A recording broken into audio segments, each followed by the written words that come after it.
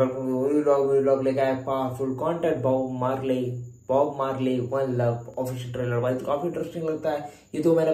आ चुका है, उसकी ट्रेलर आज भी बहुत इंटरेस्टिंग लगा। वीडियो होने के कारण वीडियो बहुत पहले बन चुका था और अब जाके आपके पास आ रहा है। तो बस लिटरली समझ सकते हैं कि वीडियोस जो बन रही है ना, उस समय से वीडियोस आते आते, आपको हो सके तो दो तीन महीना लग जाएगा, लेकिन चलो कोई बात नहीं, हम बॉब मार ले वन लव जहाँ पे one destiny one love and one family के बीच की स्टोरी एक म्यूजिशियन आर्टिस्ट के बेस्ड ऑन दिखाएँगे, जहाँ पे उसकी इमोशन हर तरह के अप्स एंड डाउन को देखते हुए, आगे बढ़ते हुए, कहानी के पीक पॉइंट को टू दी पॉइंट हिट करते हुए कंटेंट कैसा लगा आप कमेंट करके बताइए और पावरफुल स्टोरी है इसके अंदर। पावरफुल इमोशन है। जब पावरफुल स्टोरी और पावरफुल इमोशन एक साथ मिलते हैं तो ब्लास्ट होता है। और ब्लास्ट आपके को बदल सकता है। काफ़ी इम्पोर्टेबल रोल्स के साथ ये टू मंथ पहले कंटेंट कैसा लगा मुझे लोग सब्सक्राइब कर लीजिए। मिलते हैं